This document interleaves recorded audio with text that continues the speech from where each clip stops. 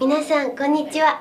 今ニョキニョキっと来ている注目の方にお話を伺うインタビューバラエティ水曜のニョキ。今週も始まります。ニョキ。皆さんこんにちは。野坂こと野沢美里です。今回のゲストは映画ガジュマル食堂の恋からはるさんです。イエーイ。よろしくお願いします。今幸せですか？あなたがそばにいたい人は誰ですか？沖縄でおばあちゃんから受け継いだ食堂を営むみずほ。メニューにあるものしか出せません。何この高飛車な態度。どうも。そんな彼女の日常に突然現れたこの3人。翔太？おおおかえりこんにちは。彼氏と住んでるのかと思った。元彼？今うちで完全にくつろいちゃってます。よかったら僕あなたの恋人になりましょうか。翔太さんはみずほさんとどうなりたいんですか？あの大きなはい。ガジュマルの木がそうですね。印象的だったんですけど。なんか町の入り口にあってはい結構地元の方が手を合わせたりするようなエネルギーをもらえる場所としてなんかはい。もう道の真ん中に立ってるんですよ、貧粉ガジュマルって言って貧粉って目隠しっていあ目う隠しっていう意味。沖縄の言葉で。でそのなんか町がこうスコーンって見えてしまわないようにああるガジュマルの木っていう。ー枝がこう下に向かってはい。伸びてて。そうですね。なんかひガジュマルの木ってはい。寄生樹でうん。もともとある木とあるもうガジュマルでも何でもない木にはい。ガジュマルの種が飛んできてどんどんどんどん大きくなってしまう。取り込んでしまってその栄養をもらってガジュマルの木として大きくなっていくっていうすごい不思議な木なんですよね。じゃああの木はもともと一本の木ではなくて。もともとの何かの木であって、うんがガジュマルが寄生したことによってガジュマルの木になったなるほ。ど。へえ面白いです、ね。面白い。あのその木木があの映画の中ですごい重要な役割を果たしてると私は思ったんですけど、ははい、本当にその通りで、い、まあなんかそれはお話映画のお話の中でですけど、この木の前では嘘をついちゃいけないんだよとか、うんうんうん。この木とそのみずほみたいに心でなんかコミュニケーションを取るじゃないですけど、そういうのがすごい大事にガジュマルの木っていう沖縄ならではのはい。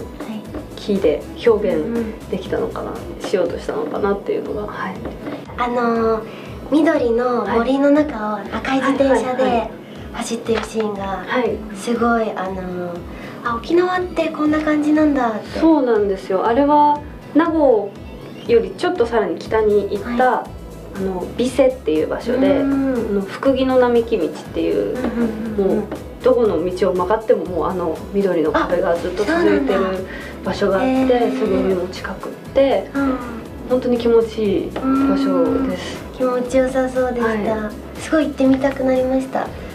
ぜひ。私も家族とかを連れて行ける機会があるならぜひうん。そういうところにも行きたいなと思いましたねあの映画の中では、はい。あの男女4人のあの視覚関係はい。になっていましたが視覚関係とか今まで経験されたことあります？か ないですそんな複雑な。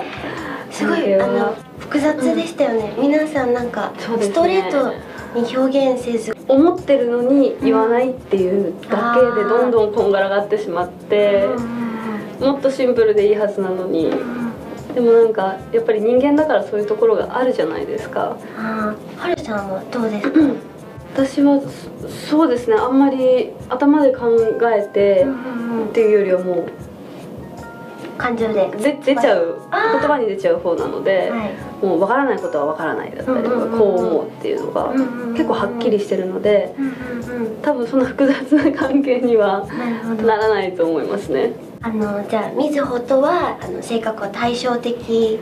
対照的とまではいかなくても、はい。やっぱりみずほちゃんの方がちょっとこう、落ち着いてる部分っていうか、一歩下がってる部分があるかなと思いましたね。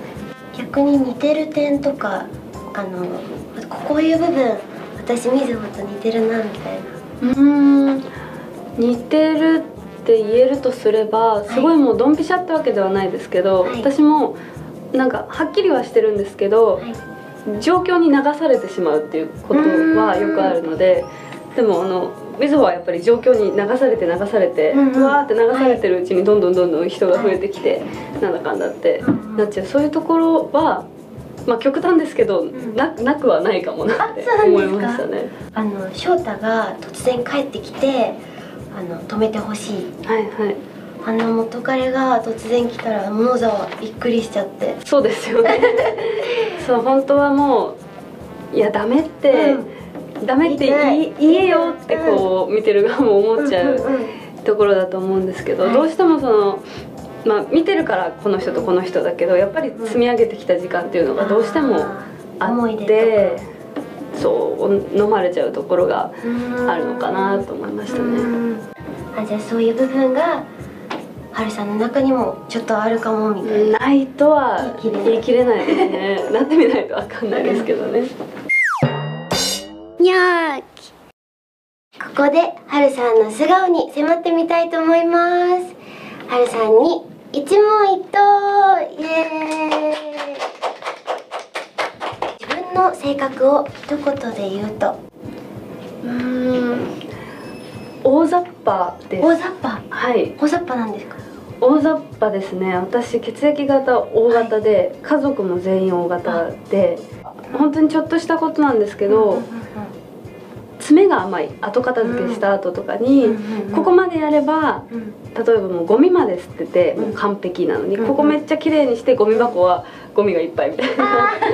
そこにまで目がいかなくってお掃除は完了したつもりになっちゃうところとかが、あまたやってしまったってあ思うんですけど。次の日起きてあそうあまだやること終わってなかあったなみたいな。みたいな。ショートカットにして良かったことは？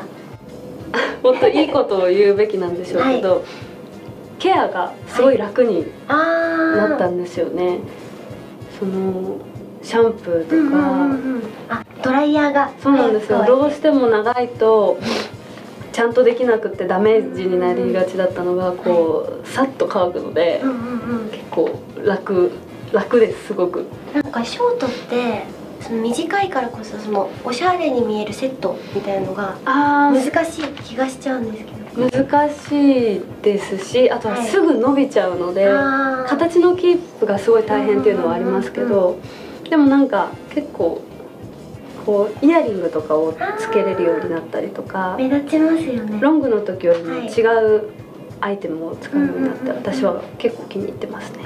はい。もし一日だけ違う髪型にするとしたら？あー私割とロングヘアでちょっとおしゃれな色にしてみたいです。赤とか？赤と 赤を例えばこう、ちょっとポイントして入れてたりするとかはい。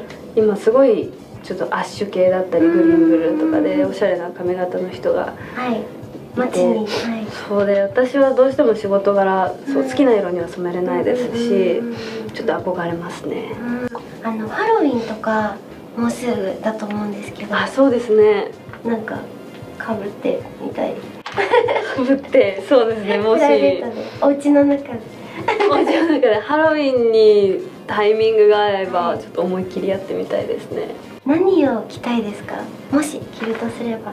私はもうメイクとかで顔に特殊メイクとまではいかなくてもなんかドラキュラみたいにしたりとかこうはい。可愛い感じっていうよりはもうちょっと気持ち悪いぐらい顔にゾンビみたいな。そうお化粧してみたいです。